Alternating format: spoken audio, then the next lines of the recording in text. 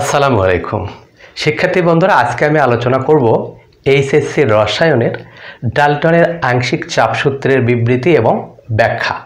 আশা করি শুরু থেকে শেষ পর্যন্ত আমার সাথেই থাকবে। তাহলে চলো শুরু করা যাক। আঠারোশো দুই খ্রিস্টাব্দে জন ডাল্টন নির্দিষ্ট তাপমাত্রায় পরস্পর বিক্রিয়াহীন একাধিক গ্যাসের মিশ্রণের মোট চাপের সাথে উপাদান গ্যাসসমূহের আংশিক চাপের সম্পর্ক স্থাপন করে একটি সূত্র প্রতিষ্ঠা করেন। সূত্রটি ডাল্টনের আংশিক চাপ সূত্র নামে পরিচিত।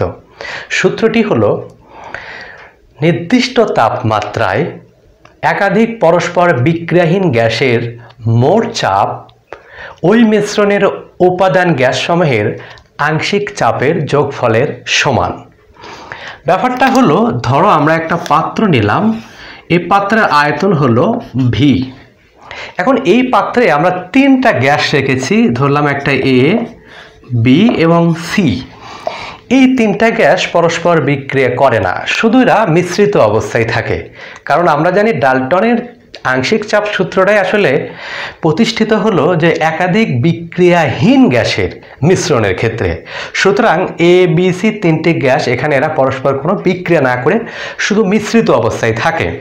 এখন এই তিনটা গ্যাস থাকার ফলে যদি এখানে টোটাল চাপ সৃষ্টি হয় পি তাহলে ডালটন যেটি বলেছেন যে এই মোট চাপটা হবে, এই তিনটা গ্যাসকে যদি আমরা পৃথক পৃথক করে রাখতাম, তারা যে চাপ প্রয়োগ করত, তাদের যোগফলের সমান হতো।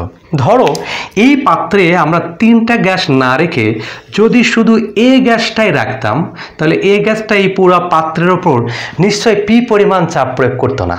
আলাদা অল্প চাপ প্রয়োগ করত। কারণ এখানে তিনটি গ্যাসের মোট চাপ হলো পি ধরলাম এ গ্যাস শুধুমাত্র এই পাত্রে রাখলে এটি একটা চাপ সৃষ্টি করত, যার নাম আমরা দিলাম পি এ এখন চিন্তা করো, যদি এর পরিবর্তে আমরা শুধু বিকে রাখতাম, তাহলে বিটা একটা চাপ প্রয়োগ করতো, সেটা হলো পি বি এখন বি না রেখে সি রাখলে, তাহলে সি যে চাপ সৃষ্টি করতো, সেটার নাম হতো পিসি ডালটনের মতে এই যে তিনটি গ্যাস পৃথক পৃথক যে চাপ প্রয়োগ করল, এই চাপটা হবে এই মিশ্রণের মোট চাপের সমান।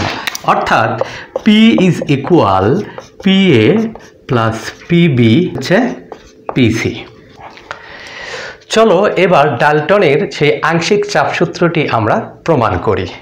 মনে করে ধরো যে একটি পাত্রে আমাদের তিনটি গ্যাস রয়েছে এ বি সি এই গ্যাসের আমরা তিনটা গ্যাসের মিশ্রণের চাপ আমরা ধরেছি কি? পি আবার এই তিনটা গ্যাস মিলে মোট মোল সংখ্যা হলো এন মানে তিনটা গ্যাসের মোট মোল সংখ্যা হলো এন এখন এই পাত্রের আয়তন ধরেছি আমরা কত?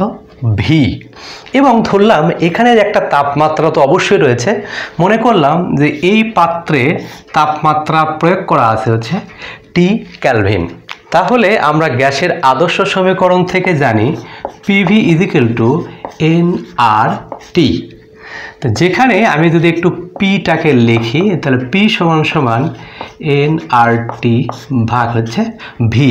ধরলাম এটা এক নম্বর সমীকরণ। এখানে আমরা পেয়েছি কোনটা এই টোটাল গ্যাস মিশ্রণের মোট চাপের সমীকরণ। এখন আদর্শ গ্যাসের সমীকরণ মিশ্রণের ক্ষেত্রে প্রযোজ্য এবং পৃথক পৃথকভাবে যদি কোনো গ্যাস আমরা ব্যবহার করি, সেই গ্যাসের ক্ষেত্রেও প্রযোজ্য হয়। তাহলে এখন চিন্তা করো, আমরা এবার পুরো পাত্রে অবস্থিত এই গ্যাস মিশ্রণের চাপের এই সমীকরণটা পেলাম। এখন চিন্তা করো, যদি আমরা এখানে পৃথক পৃথকভাবে চিন্তা করি, এ গ্যাসের ক্ষেত্রে যদি আমরা চিন্তা করতাম এই গ্যাসটা যদি আমি এই পাত্রে রাখি, তাহলে নিশ্চয় এর চাপ পি হবে না। কি হবে? এর চাপ হবে পি এ কিন্তু পাত্রর আয়তন তো ভি, তার মানে এখানে এই পি এর ক্ষেত্রেও আয়তনটা কি থাকবে? ভি থাকবে। কিন্তু মোল সংখ্যা এন হবে না। এখন কেন হবে না এন কারণ হচ্ছে এখানে তিনটা গ্যাসের মোট মোল সংখ্যা হয়েছিল এন তার মানে এ গ্যাসের মোল সংখ্যা এন না হয়ে ধরলাম হচ্ছে এন এ তাহলে এই সমীকরণটা যদি আমি এ গ্যাসের ক্ষেত্রে লিখি, তাহলে যেটা হবে দেখো এ গ্যাসের ক্ষেত্রে এই গ্যাসের ক্ষেত্রে যদি আমরা লিখি, তাহলে এই সমীকরণটা কি দাঁড়ায়? এক নম্বরের মতোই দেখো। তাহলে হবে P A is equal N A R T by হচ্ছে ভি। এখানে হয়তো প্রশ্ন হতে পারে, টিটা কেন সেম হলো? আসলে এখানে টি তো যে তাপমাত্রা আমরা মিশ্রণটা রেখেছি, প্রত্যেকটা গ্যাস পৃথক পৃথকভাবে একই তাপমাত্রায় রেখেছি, তার জন্য টি এর মানে কোনো পরিবর্তন হবে না। আর আর যেহেতু ধ্রুবক, সেহেতু এর মানেরও কোনো পরিবর্তন হবে না। ধরলাম এটা দুই নাম্বার সমীকরণ। মানে একইভাবে চিন্তা করো, যদি বি গ্যাসের ক্ষেত্রে আমরা চিন্তা করি, তাহলে বি গ্যাসের ক্ষেত্রে তাহলে এখানে চাপটা হবে পি এর পরিবর্তে হবে চাপ কি বলতো? পি বি সমান সমান। তাহলে মোট সংখ্যা এন এর পরিবর্তে কি হবে? এন বি তাহলে এন বি আর টি ভাগ হচ্ছে ভি সেম একইভাবে যদি আমরা সি গ্যাসের ক্ষেত্রে চিন্তা করি, তাহলে কি হবে দেখো? এর ক্ষেত্রে চাপ হবে পিসি তাহলে পিসি সমান সমান এন বির পরিবর্তে কি হবে? এন সি আর ধরো এটা হচ্ছে তিন নম্বর সমীকরণ, এটা হলো চার নম্বর সমীকরণ। এখন আমরা এই যে দুই, তিন এবং চার নম্বর সমীকরণ যদি আমরা যোগ করি, তাহলে যেটি দাঁড়ায়? আমরা একটু এখানে লেখার চেষ্টা করলাম। সমীকরণ কি আমাদের? দুই যোগ তিন যোগ চার। এই তিনটি সমীকরণ যদি আমি যোগ করি, তাহলে কি দাঁড়ায় দেখো? দাঁড়ায় হলো পি এ যোগ হলো পি বি, যোগ হলো আমাদের পি সি, সমান সমান। এই পাশ থেকে দেখো আর টি বাই ভি, এটা কমন নেওয়া যায়। তাহলে আমি একবারে কমন না লিখলাম, R T V, R T by V common নিলাম। তাহলে এখানে থাকল এন এ চোখ এখানে থাকল এন বি যোগ এখানে থাকল হচ্ছে এন সি কারণ আমরা আর টি বাই ভিটা কি নিয়েছি? কমন নিয়েছি।